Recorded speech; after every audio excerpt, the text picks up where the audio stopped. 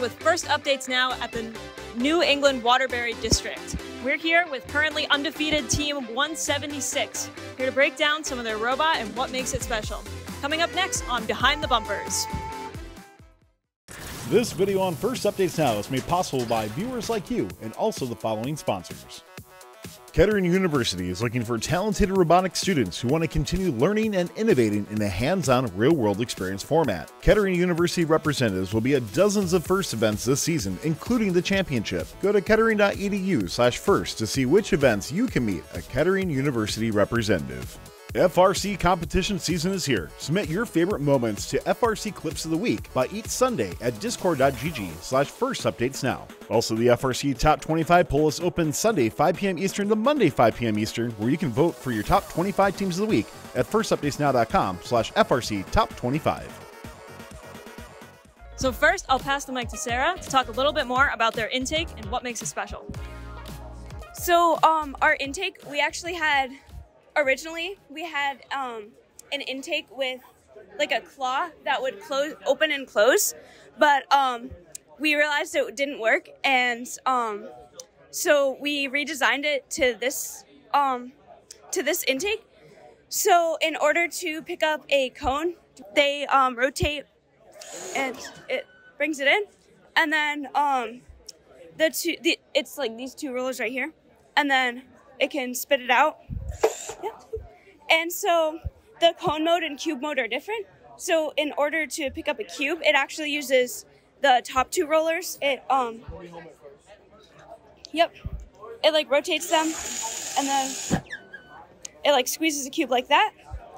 And um, then it can spit it out to score. And we can score on all three levels, um, low, mid, and high. Can you talk a little bit more about the material that you have on here? Yeah. So um, our shafts are all aluminum, and we have the our th- we have 3D prints um, for the um, sprockets, and we have the um, like belts. Um, these are also aluminum. These these were we th- uh, we? We powder coat all of our pieces um, at our shop. So this was aluminum, and so is uh, the other piece for the intake. Um, the spacers are also all aluminum and powder coated, and yeah, we also have like the bearings. Thank you. Next, let's move on to the next part of your robot, which is this gorgeous arm here. Can you tell me a little bit more about it? Hi, so uh, for our arm design, we used our Markforged 3D printers to come up with kind of the rotating axis. We have a three axis rotation right here, and this allows us to adjust whether or not we want to go into cone mode or cube mode. And that is all attached to our carbon fiber arm that we have. Yeah, we can show that, yeah. So this is mid. And this is high. And here's home There you go, just like that.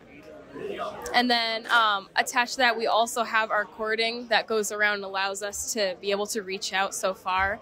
And we noticed that in the past we've used chains, but they weren't as rigid and we had more flexibility with that. So um, attaching the cord proved to be more uh, of a better solution for us. So that's how we integrated it. Yeah. Thanks, Anna.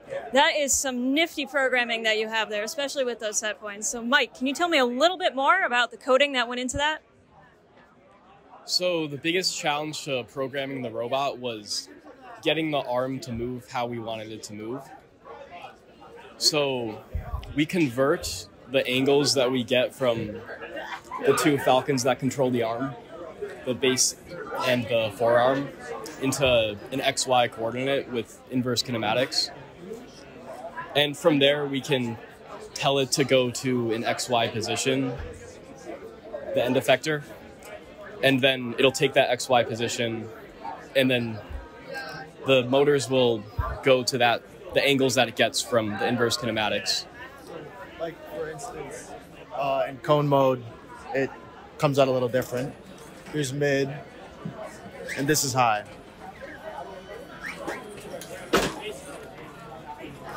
So the two biggest challenges with the arm were getting the end effector not to hit the base arm and also getting the arm when it's extended not to hit like the mid node or the high node because our arm would get stuck and that would be bad. So we have pre-generated trajectories for the arm and that ensures that it'll move back a little bit before moving to the high rung to score. Right. Thank you, Mike. And now to wrap us up, Aiden, can you tell us a little bit more about your snazzy LEDs and what you're doing with them out in the field? So with our LEDs, you guys probably noticed by now, we have two strips. There's one on the front, one on the back. It helps us communicate with our human player over at the substations. So in cone mode, they're this yellow color. And then in cube mode, they change to this purple color. And it just really helps communicate with our other human players and stuff like that. Another thing I think that wasn't mentioned is our wrist here has four degrees of motion. It can go up, down, sideways, and the arm gives it that extra axis that we need to get to the high cones and cubes. Well, thank you, Team 176. Good luck with the rest of your competition. I'm sure we'll see you have some great things in playoff rounds, and good luck with the rest of your season. Thank you. This video on First Updates Now is made possible by viewers like you and also the following sponsors. Kettering University is looking for talented robotics students who want to continue learning and innovating in a hands-on real-world experience format. Kettering University representatives will be at dozens of FIRST events this season, including the championship. Go to kettering.edu slash first to see which events you can meet a Kettering University representative. FRC competition season is here. Submit your favorite moments to FRC Clips of the Week by each Sunday at discord.gg slash first updates now. Also, the FRC Top 25 poll is open Sunday 5 p.m. Eastern to Monday 5 p.m. Eastern, where you can vote for your top 25 teams of the week at firstupdatesnow.com slash FRC Top 25. Don't forget to like, subscribe, and ring the bell to stay up to date on our new videos. Keep the conversation going and provide your input to our content. Watch our live shows at twitch.tv forward slash first updates now. Join our Discord at discord.gg forward slash first updates now. And check out Fun FTC on Facebook, Instagram, and Twitter. And First Updates Now on Facebook, Instagram, TikTok, and Twitter.